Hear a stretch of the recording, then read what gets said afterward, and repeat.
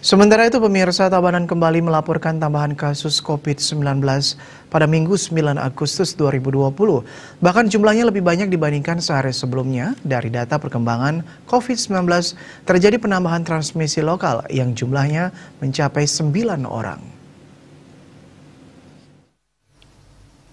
Dari jumlah tersebut, empat orang di antaranya adalah klaster keluarga di desa Dauhpuri, Kecamatan Marge. Salah satunya adalah balita berusia 2 tahun. Keempatnya terkonfirmasi positif COVID-19 setelah sebelumnya menjalani swab test. Salah satu keluarga mereka yang bekerja sebagai perawat di BRSU Tabanan telah dinyatakan positif lebih dulu. Beruntung keempat pasien positif baru tersebut tidak ada gejala sehingga hanya dilakukan isolasi mandiri sesuai dengan protokol kesehatan, namun tetap dalam pengawasan gugus tugas gotong royong desa setempat.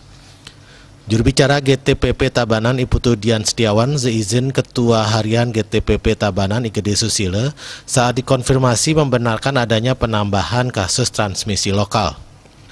Diakuinya, angka kasus selama dua hari belakangan ini terus meningkat.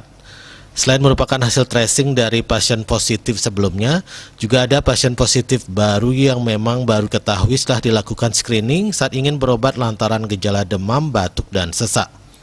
Semua kasus terkonfirmasi positif COVID-19 baru sudah ditangani oleh gugus tugas.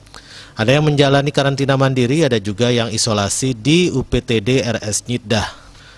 Selain pasien yang merupakan klaster keluarga dari desa Dauh Puri Marga, lima pasien lainnya yakni dua orang dari desa Mangeste, Penabel, dan masing-masing satu orang dari desa Abiantuung Kediri, desa Penatahan, dan desa Dajan Peken.